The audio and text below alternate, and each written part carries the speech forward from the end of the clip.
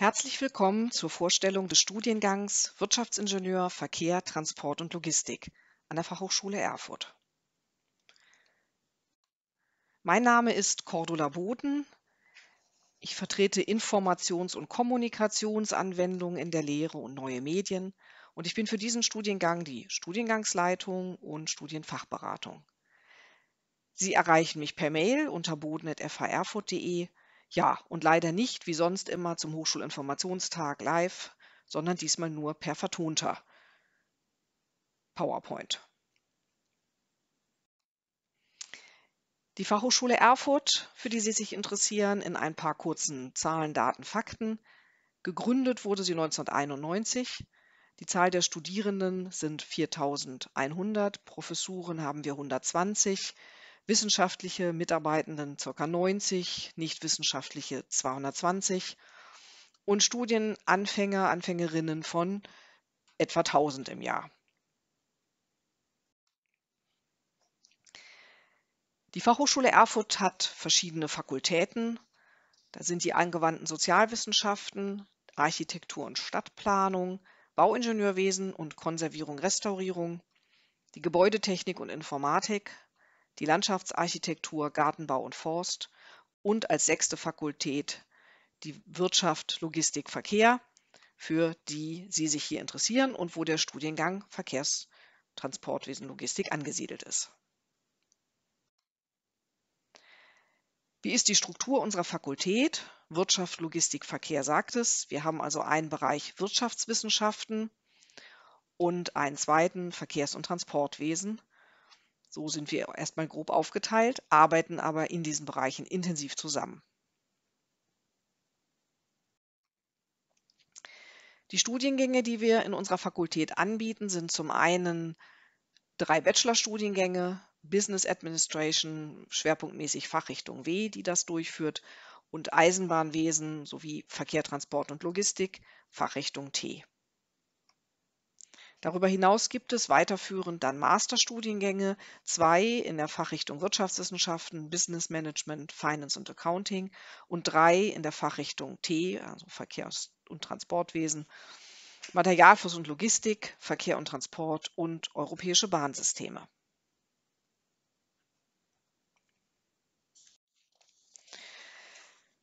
Für welche Branchen und Tätigkeiten bilden wir aus?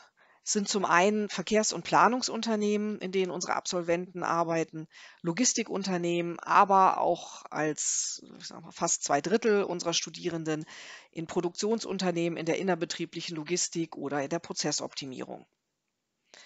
Als Vorbereitung für das Studium benötigen Sie ein Vorpraktikum, normalerweise zwölf Wochen, aber dieses Jahr sind es nur sechs Wochen. Dieses Vorpraktikum kann auch noch in der nächsten Semesterpause, also äh, endgültig bis zum Ende des zweiten Semesters erfüllt werden. Darüber hinaus sollten Sie prüfen, ob es Anerkennungsmöglichkeiten gibt.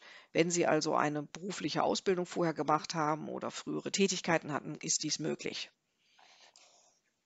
Dann bieten wir an, als Vorbereitung für das Studium, einen Vorkurs Mathematik und Physik Mathematik eine Woche, Physik ebenfalls eine Woche. Und äh, das findet in der Regel unmittelbar vor Semesterbeginn statt. Die Termine bekommen Sie nach der Immatrikulation in Ihrem Begrüßungsschreiben mitgeteilt und sie werden auch auf unserer Webseite ähm, eingestellt, die ich Ihnen nachher noch zeige.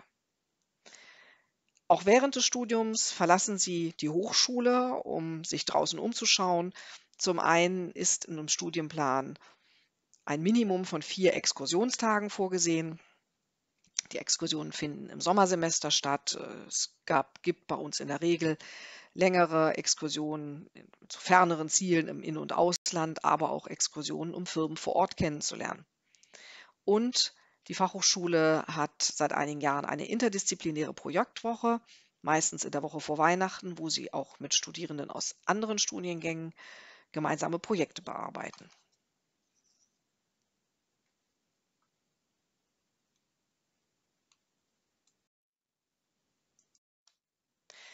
Der Aufbau des Studiums. Es beginnt mit einem ersten und zweiten Semester, das ist das Grundstudium. Ähm, da haben Sie keine Wahlmöglichkeiten, das sind alles Pflichtfächer. Danach im dritten und vierten Semester ist das Hauptstudium. Hier haben Sie schon die Möglichkeit, auch zwischen Fächern zu wählen. Im fünften Semester, das ist unser Praxissemester, ähm, machen Sie ein Praktikum in einem Unternehmen Ihrer Wahl und ähm, mit dem Ziel, über ein Thema aus diesem Unternehmen dann Ihre Bachelorarbeit zu schreiben. Bisher laufen alle unsere Bachelorarbeit in Praxisunternehmen und wir unterstützen Sie da auch bei den Kontakten. Im sechsten Semester erfolgt dann das Abschlusskolloquium für die Bachelorarbeit und es werden Vertiefungsfächer angeboten, mit denen Sie also Ihre berufliche Perspektive weiter untermauern können. Und äh, die Studienangebote, die wir haben, sind gemeinsame Fächer zwischen diesen beiden Richtungen, die hier unten dargestellt sind. Also zum einen Logistik, innerbetriebliche Logistik und Verkehrsthemen, Gestaltung von Verkehrssystemen und weiteres mehr. So erstmal der grobe Aufbau des Studiums. Es handelt sich also um einen sechssemestrigen Bachelor. Hier sehen Sie einmal, welche Fächer dort angeboten werden, der Modulplan.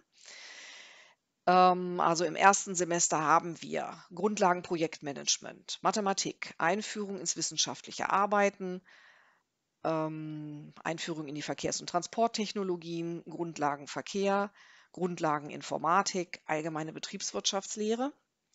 Im zweiten Semester dann das Modul Mathematik, erstreckt sich über zwei Semester, ebenso wie Projektmanagement, Darstellungstechniken. Und dann gibt es das Modul Technische Mechanik, Grundlagen der Volkswirtschaftslehre, Grundlagen Verkehrs- und Transportrecht, Finanzwesen und Unternehmensrechnung. Im dritten Semester gibt es drei Pflichtfächer, Dynamik, Fahrdynamik, die Einführung in den Güterverkehr, Materialfluss, Logistik und Einführung Personenverkehr, Mobilität. Darüber hinaus können Sie zwei weitere Fächer oder sollten, müssen Sie zwei weitere Fächer wählen aus unserem Wahlpflichtangebot. Also, da stehen sechs Fächer zur Verfügung. Ähm, SAP, ERP-Systeme, globale Logistik, Infrastruktur, Planung und Bau, Nachrichtentechnik im Verkehr, Optimierungs- und Planungsmethoden. Im vierten Semester sind die drei Pflichtfächer Transportwirtschaft, externes Rechnungswesen, Unternehmenssteuern, Verkehrsträger, Straße und Schiene. Und auch hier wählen Sie wieder zwei Fächer aus sechs Wahlpflichtangeboten aus. Also da stehen zur Verfügung Raumordnung und Regionalentwicklung, Grundlagen Fördertechnik und Materialfluss, öffentlicher Personennahverkehr, Optimierung in der Logistik, Softwareentwicklung und Einsatz und Verkehrstelematik. Das fünfte Semester, wie gesagt, ist dann das Praxissemester. Hier machen Sie 14 Wochen Praktikum und haben danach 10 Wochen Zeit, Ihre Bachelorarbeit zu erstellen. Im sechsten Semester gibt es ein Pflichtfach, das ist unser Projekt. Dazu sage ich gleich noch etwas. Und als Pflichtmodul strategische und operative Unternehmensplanung. Darüber hinaus wählen Sie drei weitere Fächer aus dem Angebot der Fachrichtung oder das freie Wahlmodul aus dem gesamten Angebot der Hochschule aus. Für die zwei Wahlpflichtfächer, die Sie aus dem Bereich der Fachrichtung T wählen müssen, stehen zur Verfügung spezielle BWL im Verkehrswesen, Grundlagensimulation, EDV im Verkehrs- und Transportwesen, intermodale Transportketten, Qualitätsmanagement in der Logistik, Supply Chain Management, Verkehrstechnik und Verkehrssteuerung, Verkehr und Umwelt oder Fremdsprache, Englisch, wirtschaftlich oder technisch, aber die Hochschule hat ein Sprachenzentrum und bietet auch weitere Sprachen an. Das Projekt findet unter Betreuung von uns statt, aber in Praxisbetrieben. So haben wir das bisher immer umgesetzt. Das heißt, es geht um praktische Probleme, Aufgabenstellungen aus Betrieben, die Sie im Team mit anderen Studierenden, auch mit Masterstudierenden zusammen bearbeiten und für die Sie eine Lösung erarbeiten, die Sie dann in den Unternehmen vorstellen. Wir haben tatsächlich ja zwei Vertiefungsrichtungen und ähm, wenn Sie nicht in der vollen Breite den Studiengang ausnutzen wollen, sondern tatsächlich sich schon verstärkt auf entweder Materialfluss und Logistik oder den Verkehrsbereich spezialisieren wollen, können Sie Ihre Wahlpflichtfächer äh, gezielt aus diesem Bereich wählen. Und die nächsten beiden Folien zeigen zwei Musterstudienpläne, wie das Ganze aussehen könnte. Also auf dieser Folie ist im ersten und zweiten Semester alles identisch und im dritten und vierten ist hier einmal eine Auswahl getroffen für die Vertiefung Materialfluss und Logistik, welche Fächer dort zum Beispiel genommen werden können. Und ebenso für das sechste Semester, hier wäre Grundlagen der Simulation ein Fach, was zum Beispiel zu empfehlen ist. Für die Vertiefung Verkehr und Transport hätten wir hier Fächer, die eher in diesem Bereich sind, wie Verkehrstelematik, öffentlicher Personennahverkehr, Infrastrukturplanung und im sechsten Semester die Verkehrstechnik und Verkehrssteuerung sowie Verkehr und Umwelt.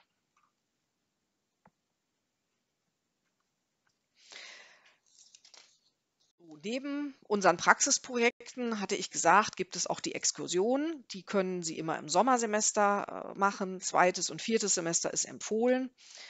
Insgesamt brauchen Sie vier Exkursionstage und hier sind einmal ein paar Fotos zu sehen von Exkursionen, die in der Vergangenheit stattgefunden haben. Sie sehen, es gab auch Auslandsexkursionen bis nach Dubai, nach China und äh, aber natürlich auch in Firmen in Deutschland, in der Region, um dort Eindrücke und Anregungen fürs zukünftige Berufsleben zu gewinnen.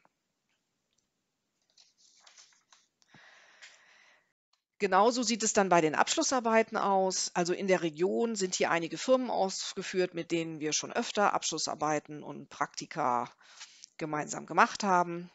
Das ist zum Daimler-Konzern gehörig MDC in Kölle das Siemens Generatorenwerk in Erfurt, N3 in Arnstadt, BMW an verschiedenen Standorten, Eisenach, Leipzig, Landshut, Daimler, Audi, natürlich die ganze Automobilbranche aber auch Bosch, Eisenach, Rexroth, Witten, auch in China ist dort schon eine Abschlussarbeit gelaufen. In Seebach, Deckel-Maho, FTE, Automotive Lighting, Gewe, Halfen oder eher im Handelsbereich Redcoon, KNV oder Zalando. Im Verkehrsbereich natürlich in den Verkehrsbetrieben, also bei der Deutschen Bahn AG, der EFAG in Erfurt, äh, SWE in Weimar als Verkehrsbetrieb oder die Hochbahn Hamburg.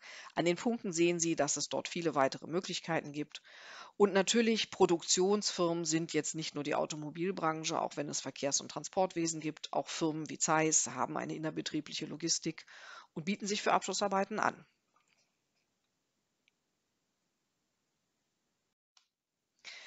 Die Professorinnen und Professoren der Fachrichtung sehen Sie hier einmal aufgeführt, auch um nochmal die Breite der, der Fach, des Fachwissens hier darzustellen. Also das geht über Fahrzeugtechnik, Eisenbahnwesen, meine Professur in Information und Kommunikation, Verkehrspolitik und Raumplanung, Schienenverkehr, Transportwirtschaft, Verkehrssystemgestaltung, intelligente Verkehrssysteme, Eisenbahnwesen, insbesondere Leit- und Sicherungstechnik, die Verkehrsplanung, Verkehrstechnik und Mechatronik und Materialfluss.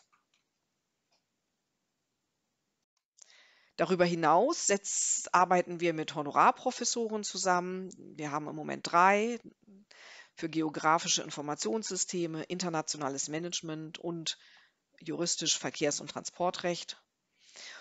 Darüber hinaus werden die wirtschaftswissenschaftlichen Fächer in unserem Studiengang, das ist ja ein Wirtschaftsingenieurstudiengang, aus der Fachrichtung Wirtschaftswissenschaften äh, mit bestückt. Das ist insbesondere Professur Wirtschafts- und Arbeitsrecht, die allgemeine Betriebswirtschaftslehre, Supply Chain Management, Volkswirtschaftslehre, Controlling, interne Unternehmensberatung, Finanzwirtschaft, betriebliche Steuerlehre und Finanzwirtschaft, die die entsprechenden Fächer durchführen.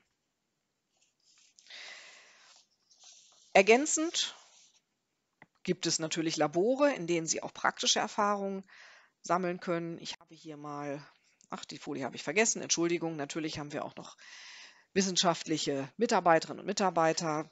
Darüber hinaus unser Studentensekretariat. Sie sehen hier, wir haben Laboringenieur für Kraftfahrzeugtechnik, fürs Labor Materialfluss. Wir haben für den IT-Bereich äh, Laboringenieure, die ja uns und auch die Studierenden bei ihren Arbeiten unterstützen.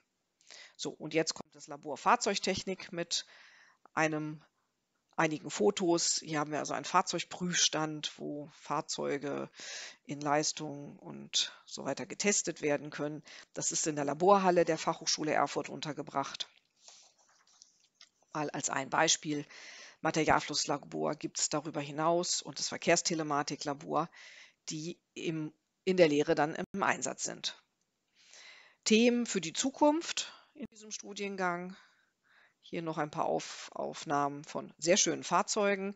Ähm, hier oben links sehen Sie das Innere der, unserer Laborhalle und hier draußen ein Elektrofahrzeug, das gerade an der Laborhalle vorbeifährt. Darüber hinaus finden in unserer Fachrichtung auch Forschungsprojekte statt, zum Beispiel für die Entwicklung neuer Verkehrskonzepte, hier die Problematik mit Autobahnraststellen und den Pausenzeiten von Lkw-Fahrern, äh, manchmal auch ganz besondere, spezielle Verkehrssysteme oder auch Telematikthemen, Steuerung von ähm, ja, Ampelsystemen beziehungsweise zukünftigen Systemen im Bereich Verkehr 4.0. Denn der wird ja zukünftig heißen, dass Fahrzeuge Daten aussenden und Daten empfangen, also miteinander kommunizieren, aber auch mit der Verkehrsinfrastruktur wie Ampeln und so weiter kommunizieren.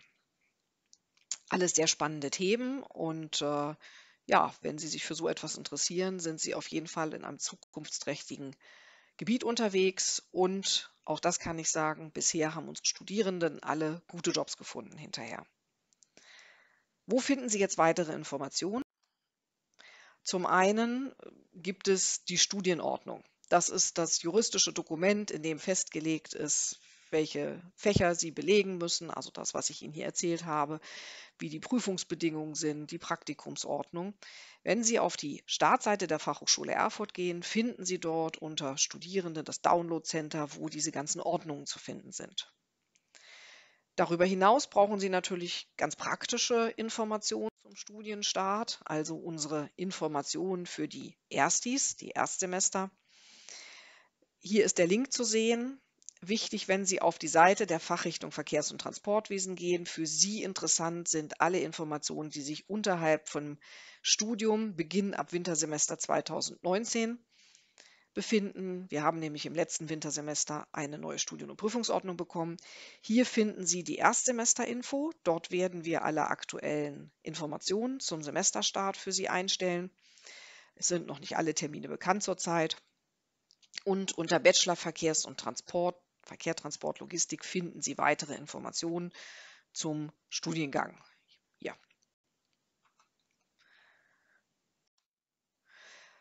Dann gibt es weitere Informationen unter abindenhörsaal.de.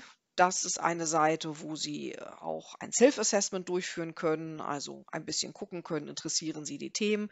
Wir haben dort ein paar kleinere Videos eingestellt zu unseren Laboren. Dort sehen Sie auch das Materialflusslabor. Dann eine weitere Seite für Studieninteressierte hier im Bachelor Verkehrs- und Transportwesen. Oder diese beiden Links können Sie auch verwenden, dann kommen Sie auch wieder auf unsere Verkehrs- und Transportseite. Ja, hier noch ein paar Impressionen aus dem Hamburger Hafen, aus einer Verkehrsleitzentrale und vom Bahnhof in Erfurt. Und wir würden uns sehr freuen, wenn wir Sie im Herbst bei uns begrüßen können und Sie durch Ihr Studium begleiten können.